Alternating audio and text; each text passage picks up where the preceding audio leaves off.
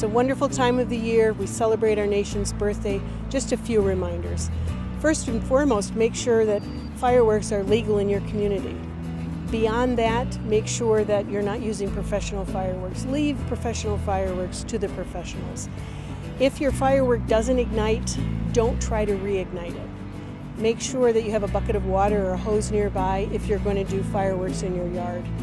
And most importantly, don't give fireworks to kids. We see the highest rate of injuries in children under five because of sparklers. They burn as high as 2,000 degrees. So we want Americans to celebrate safely. Be careful when you use fireworks and enjoy this 4th of July.